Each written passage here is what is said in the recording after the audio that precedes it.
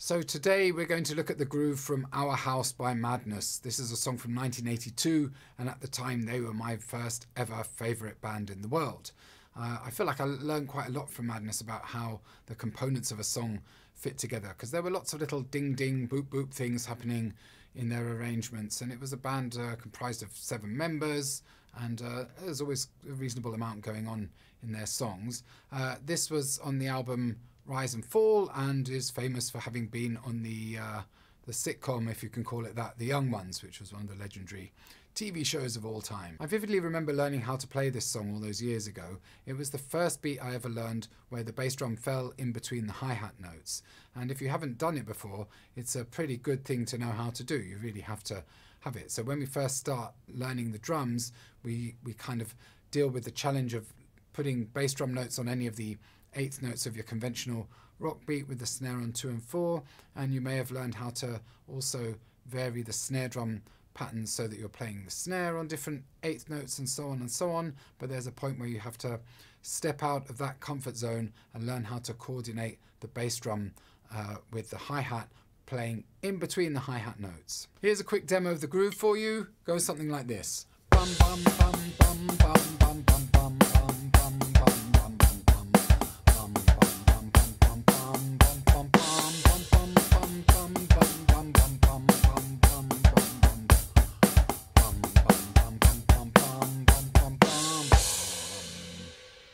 So let's take a look at what Woody played for us on this song. We've got bass on the one, the and of one, then the first of our two in-betweeny bass drum notes on the E of the two, and then we have bass on the three, bass on the R of three, which is the second in-betweeny note, and then finally bass on the and of four.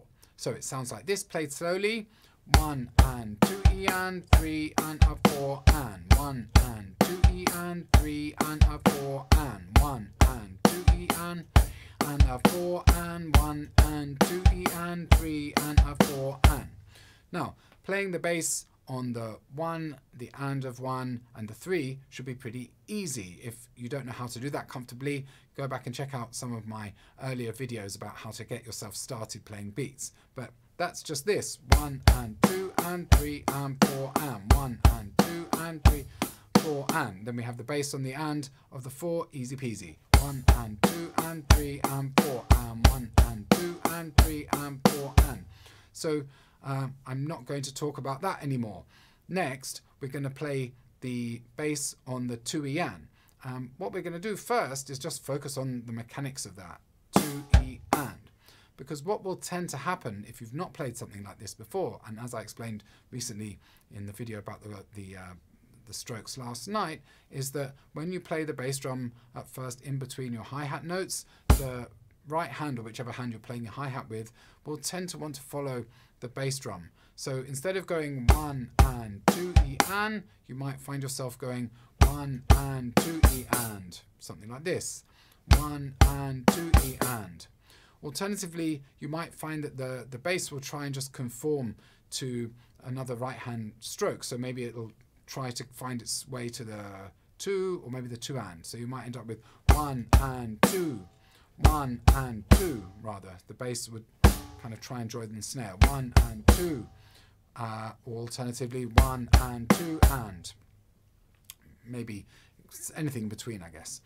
One and two E and. That's where you want to be. And you want to get that nice in between thing happening. So we're going to practice this really, really slowly and just focus on the 2E and. 2E and. 2E and. 2E and. 2E and. Now, to try and keep this in time, you can practice going 2E and, 2E and, 2E and, 2E and. Or if you prefer to count a whole bar, 1E and, 2E and, 3E and, 4E and. Always good to have a bit of uh, counting practice. 3E and, 4E and, 1E and, 2E and, 3E and, 4E and. And what's happening here is you're just kind of letting your brain get used to the idea of this particular combination of moves. 3E and 4E and. Am I still in time with myself? once you've practiced that a little bit and it's starting to feel comfortable and you're not feeling that your right hand wants to pull with the, the, the bass on the E, you can then go back and add the one and the and. So you'd go one and two E and. And it's enough to practice that and you can turn that into a bar. One and two E and, one and two E and, one and two E and. And don't be afraid to really, really slow it down, uh, which is pretty much what my videos are about actually.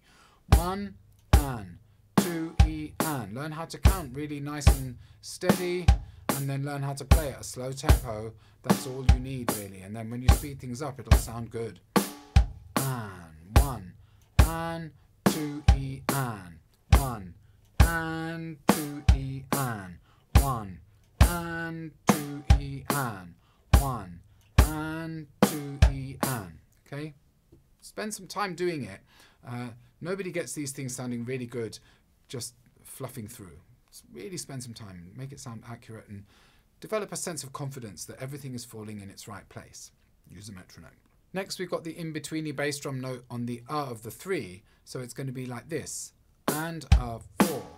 So it's kind of the other way round from what we just practiced for the two. So here we had uh, two E and, and now we have and a four. Okay, and the coordination might feel different just because you got the hang of that first one doesn't mean that this is going to suddenly feel easier. You might have to work just the same on this one. Maybe not, it's impossible to say, but if you do, don't let that put you off. There's, there's no rush to get these things right. Learn to be slow and patient. Not very easy, especially in this age. And a four. But again, break it down and work on that component on its own. Okay. Once you've got the hang of that, and again, it's sounding fluent, you can you can kind of try and, and do that in sequence as well. And a four, and a four, and a four, and a four. Does it feel comfortable? Add the three. Three and a four and three and a four and put the bass in on the and a four and. Three and a four and. So what we've done is we've broken everything down into little chunks or broken the challenging bits at least into little chunks. And then we've worked on them so that you make sure that everything lines up really well, that you're counting nice and evenly and that you keep a nice consistent uh, approach to your strokes with the hi-hat. And you notice any of that kind of little tugging. And uh, don't worry, you, you might practice this one day and spend a bunch of time on it and think it sounds really smooth and then you come back uh, tomorrow to do a little bit more. Hopefully you're, you're trying every day to work on these things um, and it starts feeling wonky or you maybe even sit down and at first you can't do it at all and you feel like you have to learn it all over again but that's fine that happens quite a lot so don't feel like just because you got the hang of something once uh, you don't have to do like 9 million more repetitions to have it sort of really registering in your body. Once you feel that you've got all those uh, lined up then you can try and put the whole groove together and you're playing it nice and slowly. One and two E and three and a four and. One and two E and three and a four and. Just do this as much as you can. Three and a four and. Try and listen for all the elements bass and snare up front one and two E and three and a four and hi-hat. A little bit polite and a four. Doesn't need to be very loud. Yes you can hear the clack clack of the plastic hi-hat here. And but that's just life. And three and three and a four and okay? But you know when you're keeping things at a slow tempo slow slow slow um, it allows you to kind of evaluate how nice and cleanly you're playing once you've got everything flowing nice and smoothly you can try and play at the tempo of the song. And you know that you've got it sounding good when that works for you you can play from the beginning to the end of the song. Now the way the groove fits in the song is, uh, if I remember correctly, mostly in four bar phrases where um, the groove we've just discussed is three bars of it, and on the last bar of the four bar phrase, we've got bass on one and and, and three and and. So a little bit of a break there from my in-betweeny bass drum notes to let you recover from the trauma of it. So it comes together something like this. One, two, three, four, dash. One, two, three,